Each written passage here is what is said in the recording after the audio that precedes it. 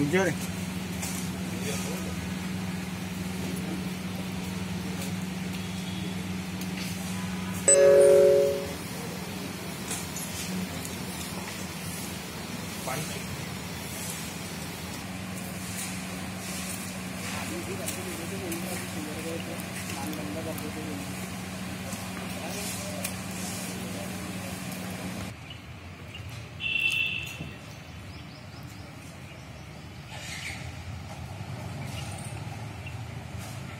मोठे लीडर आहेत. संघात बीजेपी एकच आहे. बीजेपीचे मोठे लीडर गडकरी आहेत. ते नागपूरचे आहेत. संघ मुख्यालय नागपूरला आहे. म्हणून त्यांनी लॉजिक लावून गडकरी साहेबांना फोन केला. ते- ज्याच्यावरून जे मुलीच्या नंबरवरून फोन आला. सेकंड तिचा बॉयफ्रेंड ह्याचा मित्र आहे. आता तिने तो नंबर दिली त्यामुळे तिचा कितपत रोल आहे की आरोपी होते नाही होते ते पण आपल्याला आज सांगता येणार नाही. आम्हाला प्रत्यक्ष तिची चौकशी करूनच खात्री करावं लागेल. एक गोष्ट तर तेवढीच खरी आहे की त्या मुलींनी स्वतः ती अगदी कटामध्ये सहभागी होती का तिचा फक्त वापर केला गेला? हा विषय पण आपल्याला पाहावा लागेल. तिचा रोल कितपत आहे? बऱ्याचदा काय होतं समजा आता तिचा बॉयफ्रेंड तिच्यासोबत जेलमध्ये होता काही दिवस नंतर बाहेर गेला होता. तो बॉयफ्रेंड जेलमध्ये असताना तो म्हणला असेल की मला सिम पाठव.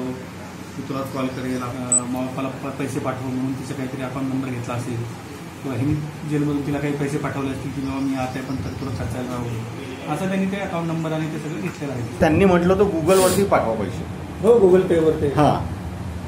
ऑफिसली तो जो नंबर आहे तो हिच्या अकाउंट सोबत लिंक असेल. लिंकच सर नितीन गडकरी प्रकरणामध्ये एक नवीन उघड आलेला आहे. की त्याचा जयेशचा हा लष्कर आणि पी एफ आय सोबत संबंध होता. एकंदरीत काय सांगाल? काय माहिती?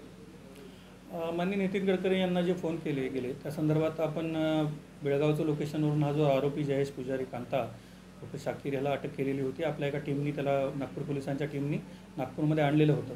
आणि त्यानंतर सदर आरोपीची पोलीस कस्टडी घेऊन आम्ही अधिक चौकशी केली असता त्यांनी हा फोन फक्त स्वतःच्या मनाने केलेला नाही असं आम्हाला आढळलं. त्याच्या अधिक चौकशीमध्ये त्याच्या बयानामध्ये आम्हाला इतर काही व्यक्तींची आणि काही संघटनांची नावं समोर आली. त्यामध्ये काही प्रतिबंधित संघटनांची नावं पण समोर आलेली आहेत. त्याच अनुषंगाने अधिक तपास आता आपण करतो आहोत. सर कुठेतरी हे बोला जात पाशाचं एक नाव येत आहे जो लष्करचा माणूस आहे. काय एकंदरीत पार्श्वभूमी आहे या सगळ्या गोष्टी आम्ही जसं आता म्हटलं की वेगवेगळे नावं आपल्यासमोर येत आहेत. त्यामुळे जसं एक अफसर पाशा नावाचं ना नाव आहे त्यानंतर टी नझीर नावाचं एक कॅप्टन टी नझीर म्हणून एक नाव समोर येत आहे जो पॉप्युलर फ्रंट ऑफ इंडिया या प्रतिबंधित संघटनेचा सदस्य आहे. तसे इतर पण काही नावं येत आहेत समोर ते नावं आता डिस्क्लोज करायला आम्ही फारसे इच्छुक यासाठी नाहीत की त्याबाबत अधिक तपास आपण आता करतो आहोत. आणि आपल्याला हे ज्या आरोपींनी जी काही सांगितलेल्या आहेत घटना त्या सर्व घटनांना आपण कोरॅबोरेट करण्याचा प्रयत्न करत आहोत. त्या संदर्भात काही पुरावे मिळत आहेत का?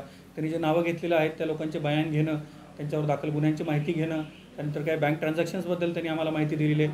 त्याचा पण पाठपुरावा करणं आणि त्याचे डिटेल्स घेणं अशा सर्व प्रकारचा आपण आता तपास करणार आहोत. आणि त्यासाठीच आपण तीन तीन टीम तयार करून आता रवाना करत आहोत. तर महत्त्वाचा अजून एक भाग आहे त्याच्यामध्ये की हा नेहमी गुगल पेनी पैसे मागवायचा.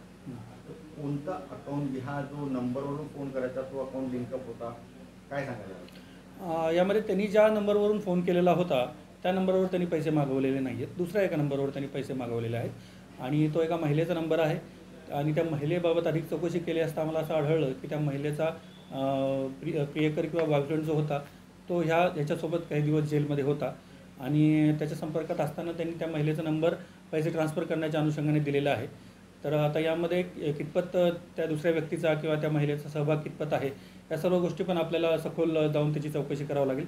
त्यानंतरच आपल्याला त्याबाबत बोलता येईल. पण आपण म्हटलं ते खरं आहे की कोणताही बँक अकाउंट नंबर न देता त्यांनी गुगल पेनी ट्रान्सफर करण्यासाठी एक मोबाईल नंबर त्या ठिकाणी सांगितलेला होता.